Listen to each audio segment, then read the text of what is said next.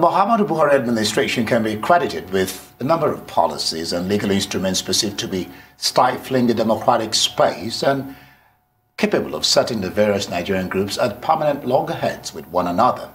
Apart from the hate speech and anti-social media bill, there is a potentially explosive water resources bill which failed to pass in the 8th Senate. It has been reintroduced in the House of Representatives. This time, the promoters of this bill are desperately violating the due process to ram it through. Meanwhile, the Niger Delta, the Pan Niger Delta Forum, PANDEF, have criticized the federal government and the National Assembly over the reintroduction of the National Water Resources Bill 2020. They rejected by the 8th Assembly. Well, former governor and chairman of the Pan Niger Delta Forum, retired Air Commodore Idonga Kang, joins us now to talk some more on this particular water resources bill. Glad to have you uh, join us, uh, uh, uh Air Commodore, uh, former, of course, and Donga Gang. Glad to have you join us. Thank you very much. Good. Let's start it this way. Why is this water resources bill evoking such emotions and resistance, especially uh, among people of the South?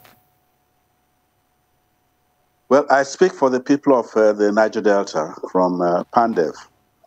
And it, it has to uh, because that's our livelihood. Uh, if we lost our oil and now we lost our water, we wonder what else. So it, it is something that if you take water away, I mean, like up north, it won't be an issue. But here in the south, a lot of people basically live in water. So anything that has to do with water, whether it is surface or underground, must bring concern. And if it is adverse to their livelihood, then it's going to uh, be something that uh, will, people will get emotional about it. So that's that's basically all because that's our livelihood.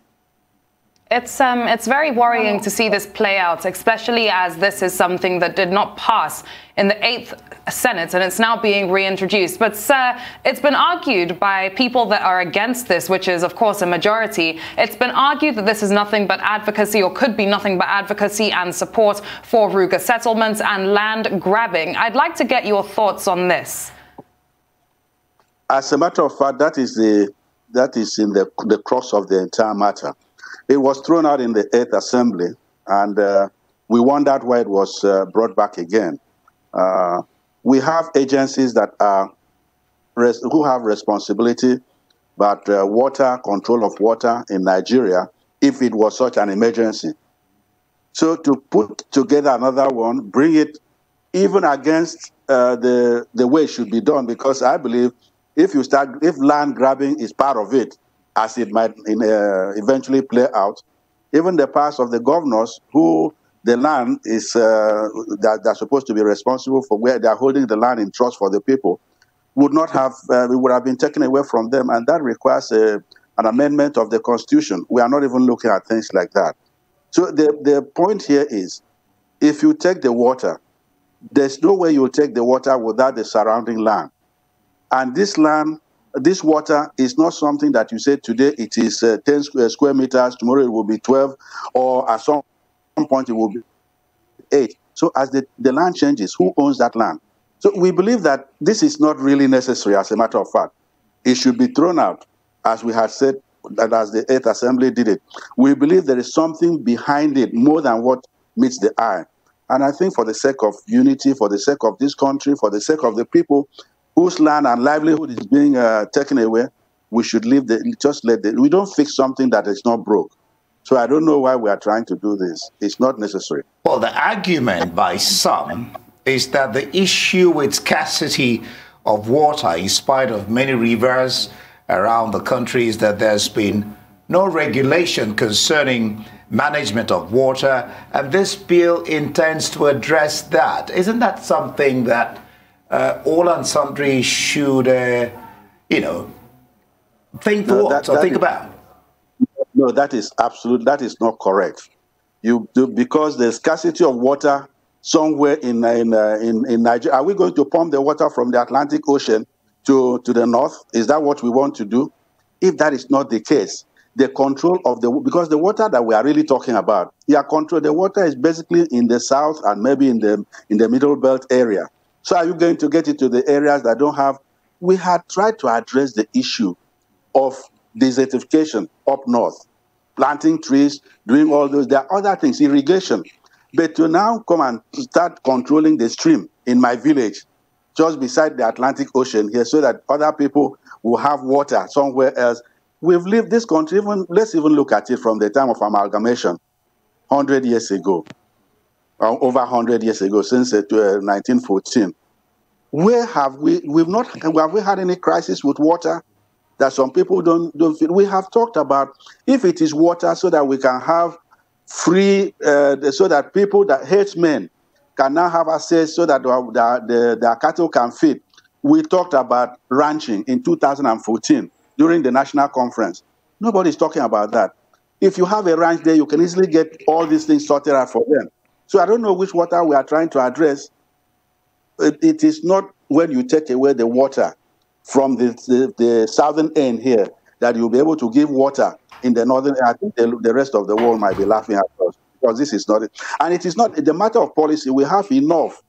We, we have the irrigation policy, national irrigation policy. We have the national water policy. All those. We have even a ministry of agri- of water resources and all.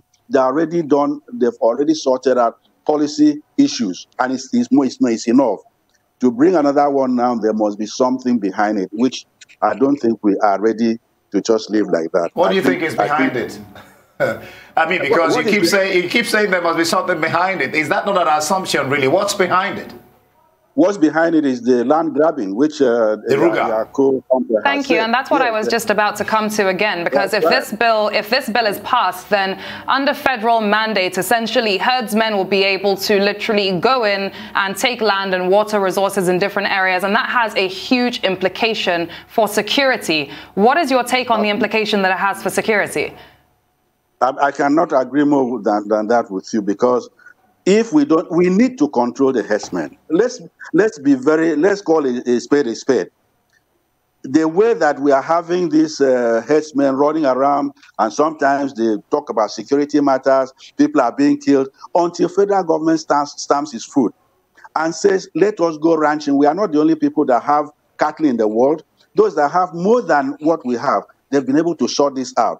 They didn't have to grab uh, water and land from other places in order for that to happen. So let us be honest enough and say, look, let us go ranching so that they can feed their cattle. You don't have to be walking from Maiduguri to Lagos before you can feed your cattle. We have passed this pastoral uh, herdsmen, all this, we have passed that stage since.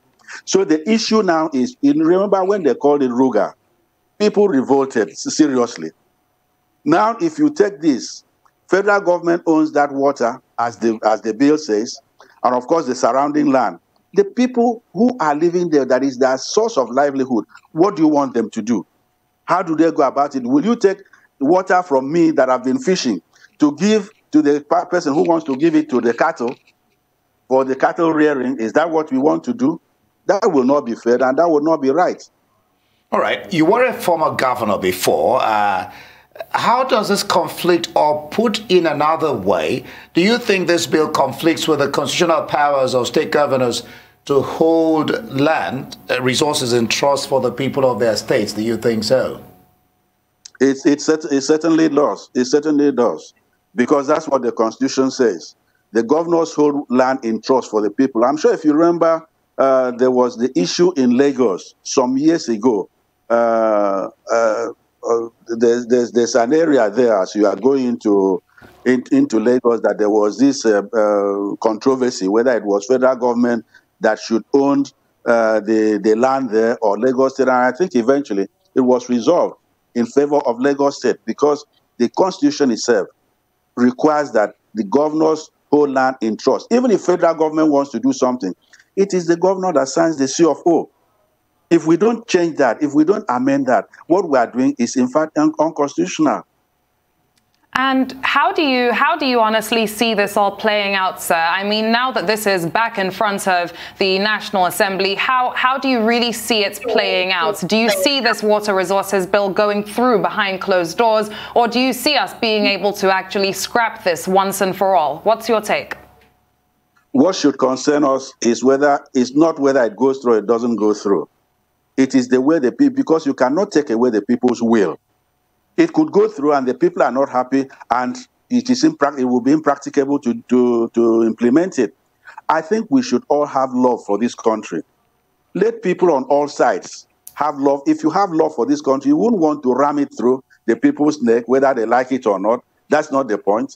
You can go ahead. After all, if it was a military administration or a dictatorial administration, they could have gone ahead and signed a decree, and that would be it. But the people will be grum- grumbling.